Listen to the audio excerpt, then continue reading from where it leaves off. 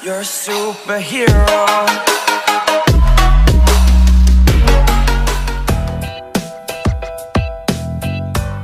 Hey yo mga ka-Volters! Welcome back to my YouTube channel. This is Tumnik Balabat, ang voice artist ni Valley Lister. Opening schedule ng PVL.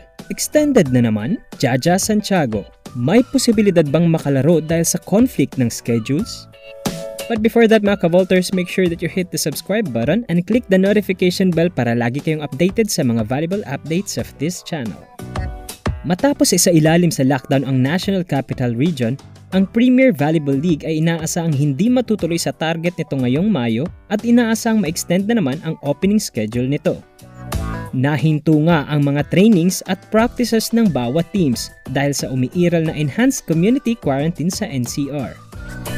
We'll probably have to move the opening, pahayag ng PVL President na si Ricky Palu. Dagdag pa nito, we will be meeting with our team owners and representatives later this week or early next week to discuss our options.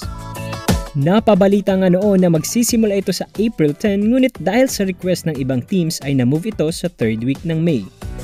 Isa rin sa mga katanungan ngayon ay kung makakalaro ba si Jaja Santiago sa bagong schedule ngayon ng PVL. Si Jaja Santiago ay inaasahang babalik sa Japan sa buwan ng Agosto at kung mai extend ang opening ng PVL ay malaki ang tsansa na maging conflict ito sa kanyang schedule at maaring hindi matuloy sa paglalaro sa Cherry Tigo. Sa ngayon ay balik sa online training ang bawat team bilang paghahanda sa parating na PVL. That's it for today's latest valuable updates mga ka-Volters. Again, don't forget to subscribe and hit the notification bell for more videos. This has been Tumnik Balabat. Bye-bye!